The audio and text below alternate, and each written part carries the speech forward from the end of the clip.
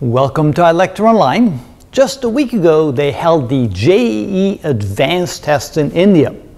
These are very difficult tests that they give to very good students that try to get into the best universities in India.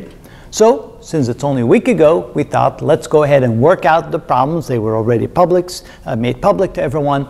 So here we are going to be facing those very difficult problems, some more difficult than others.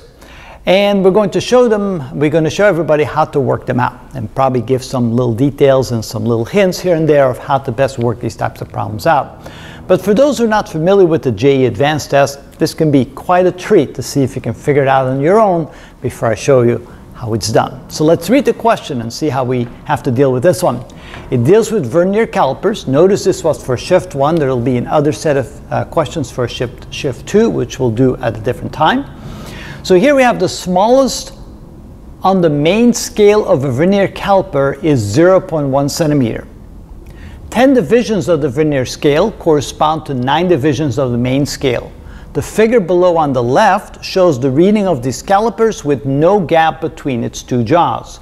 The figure on the right shows the reading with a solid sphere held between the jaws. The correct diameter of the sphere is, and they give us four possible answers. So the drawing on the left indicates the zero reading. In other words, when the jaws are closed, it should be exactly on zero, but notice it's not exactly on zero, so we need to account for that in the overall measurement of what we're trying to measure. On the right side, we have the jaws clamped around a solid sphere, and this is what the reading gave us. But the reading we got from here will not be the correct size of the sphere because we did not have a zero on the zero reading, so we need to adjust. Notice here that these two lines match on the right side and these two lines right here match on the left side. So on the right side, notice that the zero is just past this first line. This would be three centimeters, four centimeters. These are millimeters on the main scale. So it just passed the 3.1 centimeter. So we have 3.1 centimeter plus wherever the bottom line matches up with the top line. Notice that this is the first line right here. This scale here represents one tenth of a millimeter or one one hundred of a centimeter. And so we have to add one, one one hundred of a centimeter so that the reading we get on the right scale is going to be 3.11 centimeters. And sure enough, that's one of the answers there, but that's not the correct answer because we have to adjust it for the zero reading. Now the zero reading is a little tricky because it's on the negative side of zero. Notice it's the left of zero.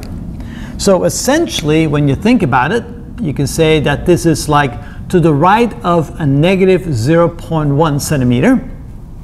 So this would be centimeters like that. So it would be negative 0.1 centimeter plus and notice it's the first, second, third, fourth, fifth, sixth line to the right, so plus 0.06 centimeters from the vernier scale, which is equal to minus 0.04 centimeters. And this is what we call the adjustment of not having the zero reading correctly at zero. So how do we adjust that? So the true size that's the best way to say it. The true size is equal to 3.11 centimeters minus the zero reading, which is a minus 0.04 centimeters. The negative times the negative becomes a positive, so this is 3.15 centimeters.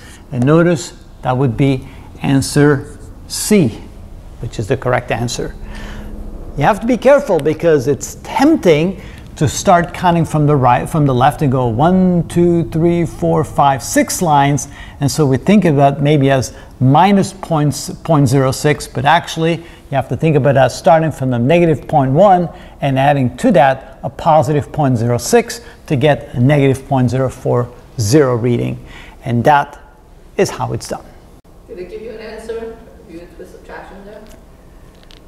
Uh, let's see what would happen if you were to subtract. Yeah, if you take 3.1, oh no, if it's 3.11 and subtract this, then you would pick the incorrect answer of 3.07.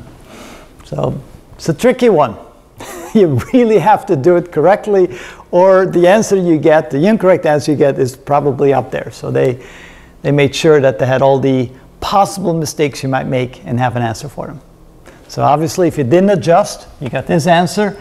If you dotted this as minus 0.06, you get this answer. If you were to add that, uh, sub, add and sub subtract it, you end up with this answer. So yeah, they give you pretty well every possible mistake you make, they have an answer waiting for you.